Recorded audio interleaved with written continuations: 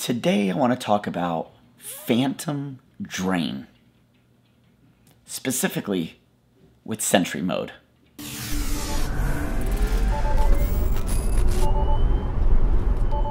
So today I'm wearing the Starman shirt in honor of Dragon liftoff and, and dock with the space station that just happened. If you haven't been watching the news, subscribe to the SpaceX channel. Some pretty amazing stuff that's happened over the last couple days.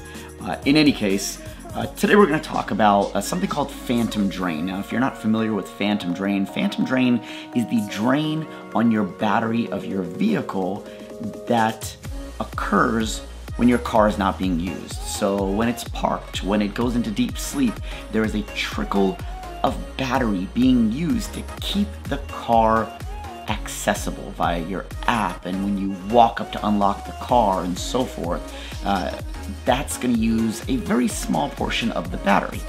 Now, uh, one question that came up a lot is with Sentry mode that's constantly recording and watching and anyone who walks by is triggering it. How does that have an effect on Phantom Drain?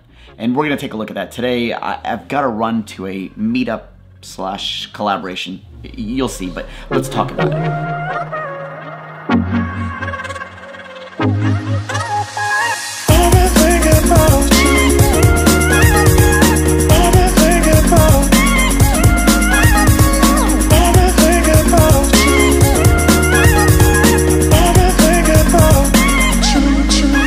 Now before heading out, I do want to call out that this is not a scientific test. Uh, this is just uh, usage of looking at what the battery was when I parked and when I came back to the car, measuring time, uh, but to help kind of back everything that I was doing on a very non-scientific way, uh, I did utilize an app uh, the app that I utilized was called Stats. Uh, it's available uh, in the App Store. You can download it. And what Stats does is it gives you a lot of access to a lot of data of your car you go, take, take, take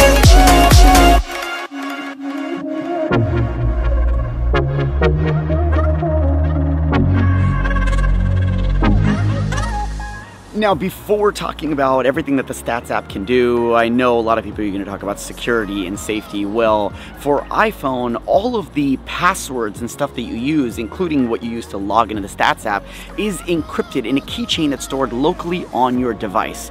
So none of that information is shared. Now, jumping into what the Stats app can do for you, I'm going to highlight a, a, couple of things. I'm just going to actually read it directly off of here. Uh, right, the Stats app uh, can give you notifications on when your car is locked, if you've left the air running, and so forth.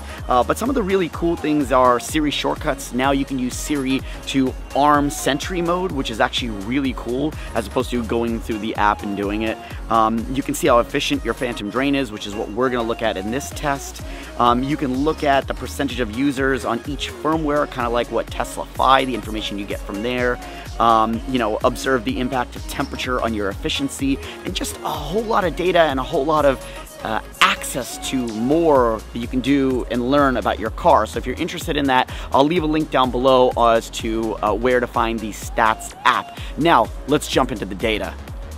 All right, so the first thing that I wanted to look at is two separate tests. One was done at my place of work where I turned on Sentry mode. I left it on for six hours. Uh, and what I saw was I lost about seven miles of range. So that comes out to be about 1.17 miles per hour range loss with Sentry mode on.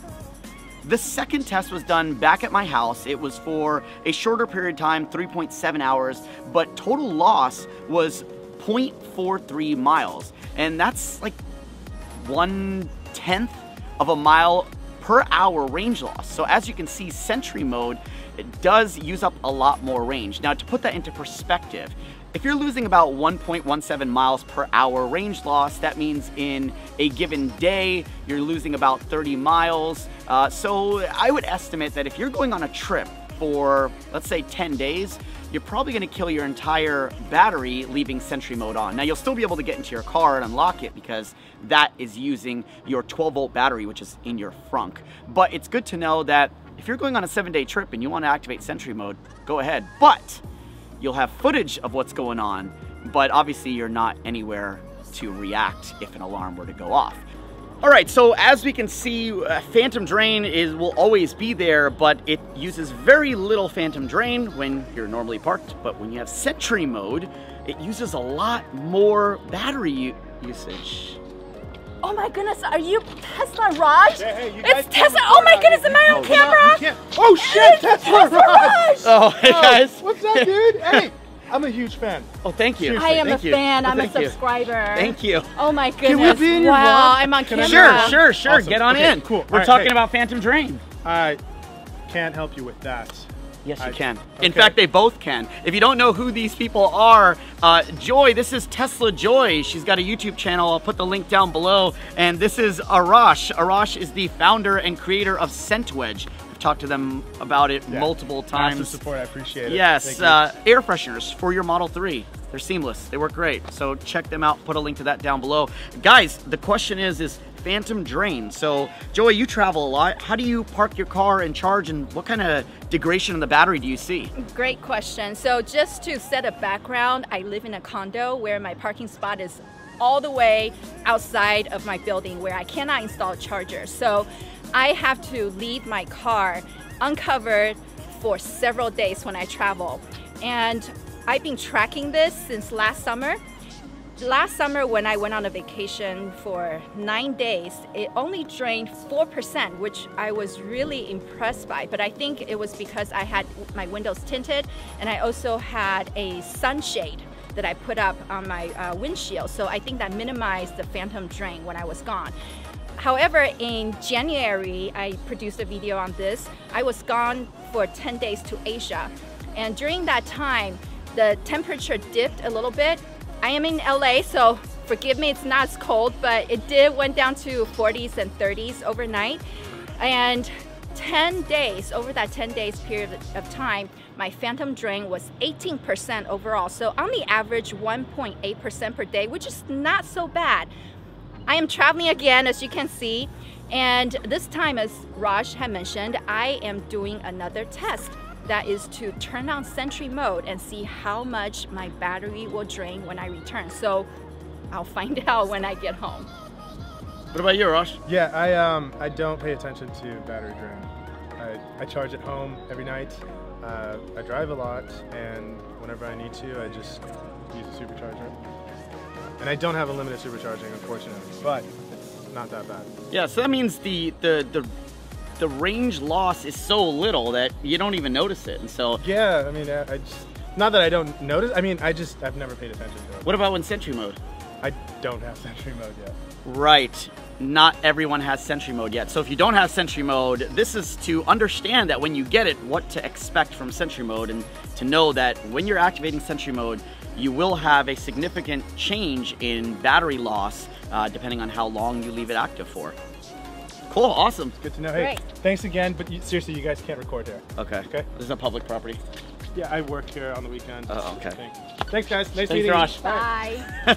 So hopefully you found that video super helpful and understand the effects that Sentry Mode has on your vehicle uh, when you leave it running. And that's probably the answer to why Tesla did not make it such that Sentry Mode stays active at all times and instead made it such that you, the user, needs to activate it whenever you want to use it. Uh, it gives you more control and allows you not to experience such a drain on your battery.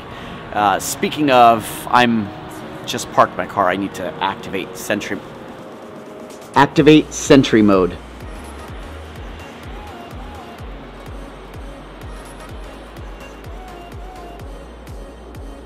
Done. I activated sentry mode for McFly. It's that easy. If you like this video, go ahead and hit the thumbs up button. Consider subscribing if you don't already. Follow me on Twitter and Instagram, and I will catch you guys next time. Remember to fuel on electricity.